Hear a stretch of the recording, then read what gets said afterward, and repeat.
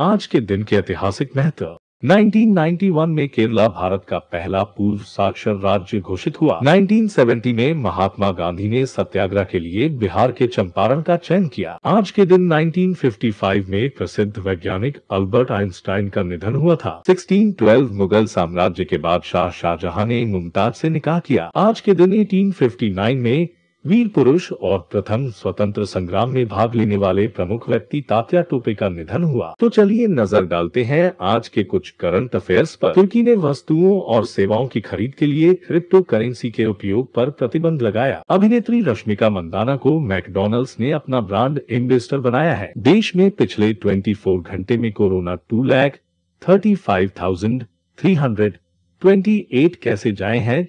जिसमें 79 लोगों की मौत हो गई। भक्ति गीतों के प्रसिद्ध गीतकार पंडित किरण मिश्रा का 67 वर्ष की आयु में निधन हो गया है। ऑलमाइटी कजाकिस्तान में एशियाई कुश्ती चैंपियनशिप में भारत की सरिता मोर ने महिलाओं के 59 किलोग्राम भार वर्ग में स्वर्ण पदक जीता। ऑलमाइटी कजाकिस्तान में एशियाई कुश्ती चैंपियनशिप में भारत की सरिता मोर ने महिलाओं के 59 किलोग्राम भार वर्ग में स्वर्ण पदक जीता। निर्देशक जेओ बेबी मलयालम फ़िल्म द ग्रेट इंडियन किचन को शंघाई अंतर्राष्ट्रीय फ़िल्म समारोह 2021 के लिए चुना गया है। भारत की विशाल राव नारी को संयुक्त राष्ट्र प्रमुख एंटोनियो गुटेरेस ने यूएनडीपी के आवर महासचिव और एसोसिएट प्रशासक के रूप में नियुक्त किया है। न्यूजीलैंड के स्टार क्रिकेटर केन विलियमसन को हाल ही में सर रिचर्ड हैडली पदक से सम्मानित किया गया था। संयुक्त राष्ट्र जनसंख्या कोष की state of the world population report 2021 में जारी की गई। ब्रिटेन के गृह सचिव ने भगोड़े व्यापारी नीरव मोदी के प्रत्यर्पण को मंजूरी दी। ब्रिटेन के गृह सचिव ने भगोड़े व्यापारी नीरव मोदी के प्रत्यर्पण को मंजूरी दी। प्रसिद्ध रेडियोलॉजिस्ट और एन के पूर्व निर्देशक का कल अगला शुभा राव का नाइन्टी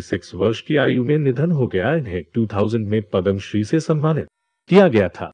तीन दिवसीय भारत वायुसेना कमांडरों का सम्मेलन 2020 नई दिल्ली में संपन्न हुआ। इसका theme reorienting for the future है। न्यूज़ एजेंसी रॉयटर्स के मुताबिक मार्च 2021 की तिमाही में चीन की जीडीपी बढ़कर 18.03 परसेंट पहुँच गई। एशियाई कुश्ती चैंपियन में स्टार पहलवान विनेश फोगाट ने गोल्ड मेडल जीत लिया है। इंस्टॉल यूजिंग इंटरनेट इंडेक्स 2021 में स्वीडन को प्रथम स्थान प्राप्त हुआ है।